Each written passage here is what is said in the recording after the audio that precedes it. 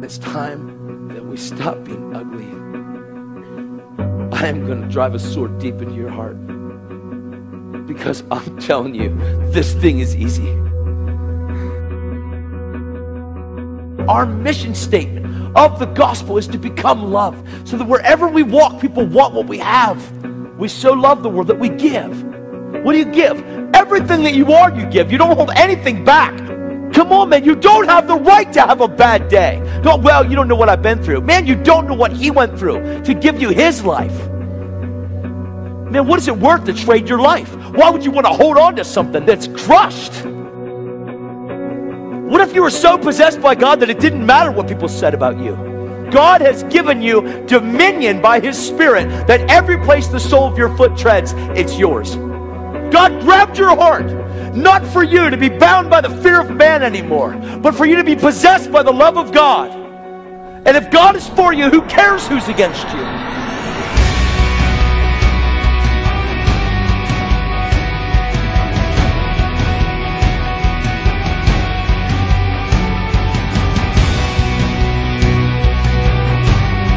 You're not here for you, you're here for Him. You abide in Him, you flow with Him, you move with Him. Learn your identity, who you are as a son. Stop being manipulated by lies and dominated by hell. Just surrender. Say, you know what, God? I didn't get it. Now I do. God, I want this. And God says, that I can work with that. And you don't have to say, well, God, what do you want me to do today? Just do it. Well, God, where do you want me to go? Just go. Well, God, who should I pray for? Everybody.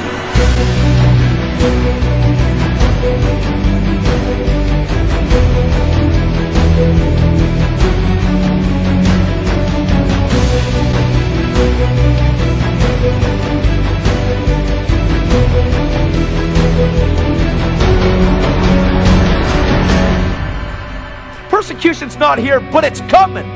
And if you can't rise up now in the midst of nothing, you'll never be able to stand in the midst of persecution. We're so used to being comfortable. We're so used to just staying inside our comfort zone. Holy Spirit has called the comforter because he knew that you were going to be uncomfortable to step into this thing.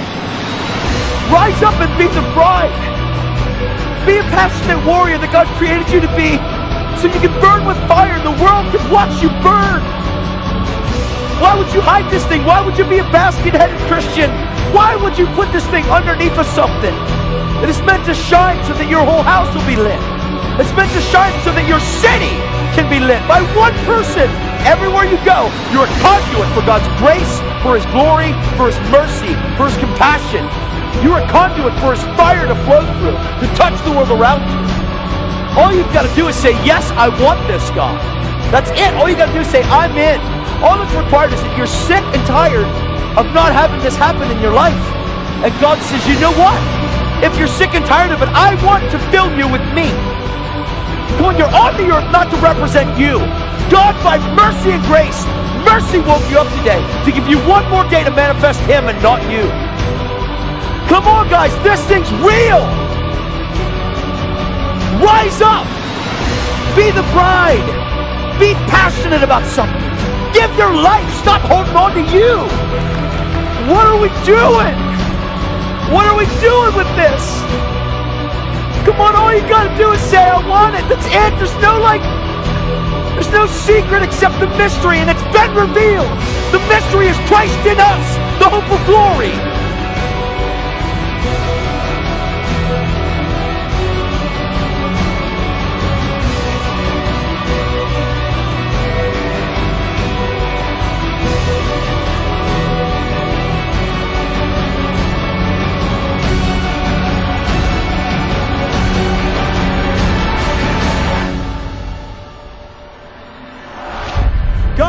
Compel us by love that we would destroy hell for a living